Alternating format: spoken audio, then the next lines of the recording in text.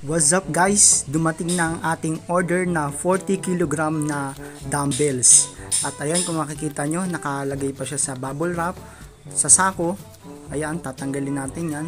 At sa karton sa loob para siguradong secure ang ating package. At ayan, kung makikita nyo yung nasa puting yan, ay yung mga plates na ilalagay natin sa dumbbells natin. At ayan, makita natin ito yung pang-lock ng ating dumbbells. Ayan yung freebie. At ito yung dumbbells na paghahawakan natin. At ito yung pandugtong. Mamaya papakita ko sa inyo yan. At ayan ang ating mga dumbbells.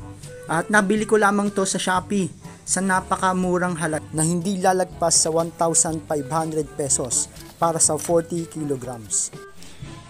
Ayan, matapos natin i-unbox ang ating dumbbells, Ayan, papakita ko sa inyo ng malapatin to sa labas para maliwanan.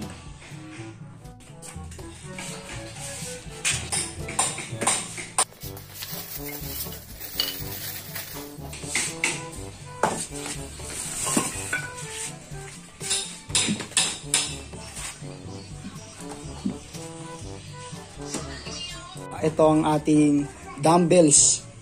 Kung makikita nyo dito, meron tayong 3 kilograms Ayan, 3 kilograms. Meron din tayong 2.5 kilograms at meron din tayong 1.25 kilograms. Kung bibilangin natin, meron tayo dito 1, 2, 3, 4, 5, 6, 7, 8. 8 na 3 kilograms. E di, 8 times 3, 8, 16, 24. Plus, ito, 2.5 na 1, 2, 3, 4. Plus 10 kilograms, e di 34 kilograms na lahat yan. Plus, apat na 1.25 na kilograms na dumbbell plates. E di meron tayong 39 kilograms. Ang binili natin ay 40 kilograms na dumbbell sets. Okay na rin, isang kilogram lang naman ang nagkulang. Siguro yung 1 kilogram dito nang galing sa ito, yung ikakabit natin. Mamaya ipapakita ko sa inyo kung paano ikabit ang mga dumbbells na to. Ito muna ipapakita natin to ito yung dugtungan para maging barbell yung ating dumbbells. Eh, papakita ko sa inyo yan. At meron din tayo dito. Ito yung para sa dumbbells. Ayan, para sa dumbbells to. Makita nyo naman. Napakalinis. Ito yung panlock niya. Hindi ko lang alam kung anong tawag dito. Ayan, ito yung panlock niya. Ayan. Tapos may freebie din tayong gloves. Ayan, magagamit natin yan. Para hindi tayo masaktan ng ating mga balat sa kamay. Kung ano mang purpose niyan. Ayan, panlagay dito sa ating wrist. At ayan, papakita ko sa inyo ng malapitan ng ating dumbbells. Dumbbell plates. Ayan, makikita nyo, kung makapansin nyo, para siyang plastic. Pero hindi po siya plastic ah sa tingin ko ito ay isang rubberized plate. Kung makikita nyo yan. Napakaganda. Ito, accurate yung bigat niya. 3 kilograms mabigat to. Mukha lang siyang hindi mabigat. Sa unang tingin, mukha siyang plastic. Pero hindi, mabigat siya. 3 kilograms yan. At ipapakita ko din sa inyo yung 2.5 kilograms. Ayan. 2.5 kilograms. Ayan. Ayan, may butas siya sa gitna doon nilulusot. Tapos hindi ko lang alam anong purpose nitong mga butas na ito, yung anim na perasong butas na yan sa gilid. Ayan. At tignan din natin yung 1.25 kilograms. Ayan. Kung makikita nyo, ganun na ganun din. At dito sa gilid, meron siyang bilog. Hindi ko lang alam kung anong purpose nun. Parang natatanggal siya. Pero wag na muna natin pakilamanan. Magbabasa-basa na lang muna ako. At ayan. Ngayon naman ay i-set na natin ang ating dumbbells para makita nyo kung paano ilagay. Una muna, kunin natin to. Ayan. Tapos, depende na lang sa bigat na kaya nyo ang ilalagay nyo. Ako halimbawa, 3 kilograms, 6 kilograms ang kaya ko. Ilalagay ko lang yan, dalawa. Tapos, kunin nyo itong dalawang kulay pula. Ayun yung ipanglalak natin sa labas dito. Para hindi siya gumalaw sa loob. Iikot nyo lang yan. Meron na kayong pang dumbbells. Yan. Tapos yung isa, yan lang bigay nyo sa isa pa. Bigay nyo lang din. Pantay para maging balance, magkabilang kamay. Lalagay nyo lang. Ilalak nyo lang yan.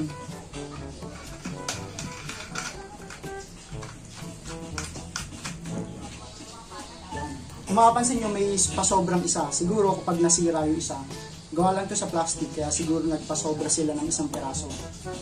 At ito, ito, nakonvince ko yung paano ito gagamitin. Kung makapansin nyo, meron siyang butas dito. May butas yan. Pwede nyo siyang ilusot dito. Depende sa sa trip nyo.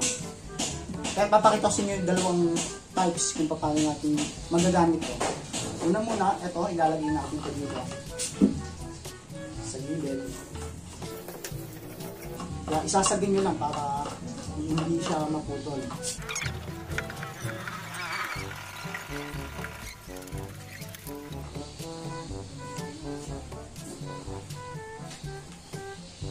Ayan, higpitan nyo lang sa magkabila para hindi siya gumalaw. At ayan, pwede nyo nang ga- gamiting dumbbell. Ayan, Pwede nyo nang gamitin na ganyan. Kaya kung makikita nyo. Tapos, depende din sa inyo sa trip nyo. Pwede nyo tanggalin itong nasa gitna.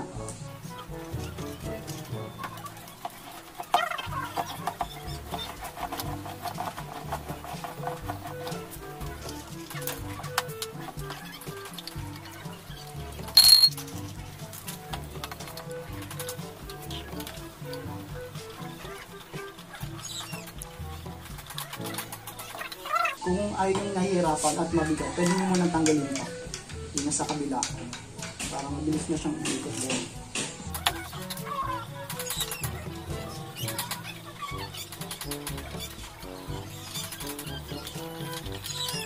At pwede na natin ilagay ulit ang link sa gilid.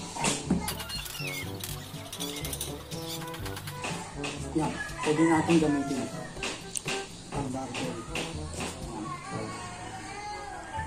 Pero pwede nyo din hindi masyado isagad to sa dulo.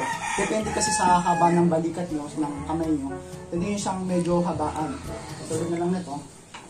Kaso medyo magalaw nga lang siya. Kaya kailangan nyo magsingit sa loob. Kung medyo maikli para sa inyo yung ganito, yung magiging barbell para sa inyo. Ngayon naman guys, itatry natin gamitin yung barbell na ginawa natin.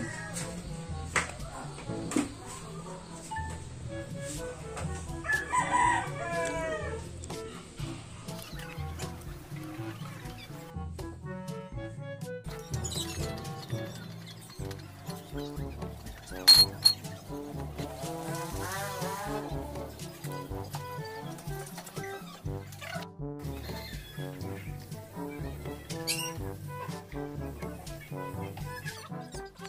guys, para sa mga may balak na bumili ng mga dumbbells na ito, na convertible siya sa barbell, mabibili lamang natin to sa halagang 1,400 plus. Kaya sulit na sulit para sa mga nagsisimula pa lang na mag-workout at sa mga prepare na mag-workout lamang sa kanilang mga bahay. Yung link na binilan ko ay ilalagay ko na lamang sa baba at nabili ko lamang to sa Shopee. At ito lamang po para sa video na ito. Huwag niyong kakalimutan na isubscribe ang aking channel at pindutin ang bell button para maging updated sa mga video tulad nito.